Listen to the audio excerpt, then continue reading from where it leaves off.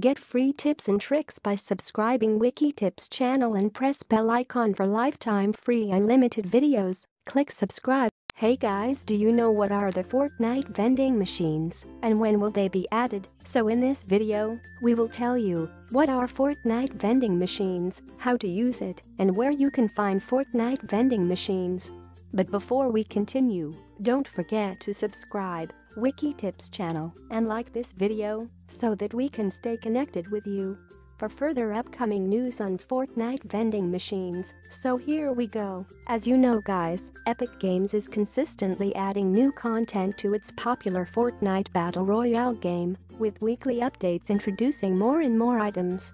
The latest addition looks set to be interactive vending machines, where players will be able to get hold of certain items it has already been spotted in various locations on the map by Fortnite players, and it was officially confirmed by Epic Games last night. So what will the vending machines do, and when are they being added? The vending machines will give players the chance to exchange resources such as wood and bricks for various weapons. The player found a vending machine that would allow them to trade 250 wood for a minigun, with the material and the gun displayed right on the front of the machine. So where can I find Fortnite vending machines? Players have already spotted them around the map, but they don't currently have any function.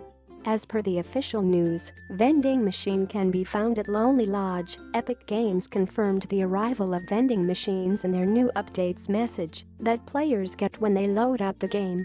In the update description it says trade in spare materials for extra gear.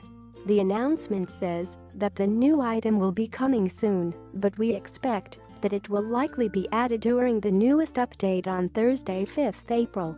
Most of the items that are teased under new updates are usually very close to being added to the game, and the fact that many players have already spotted them on the map means it's likely that everything is already in place.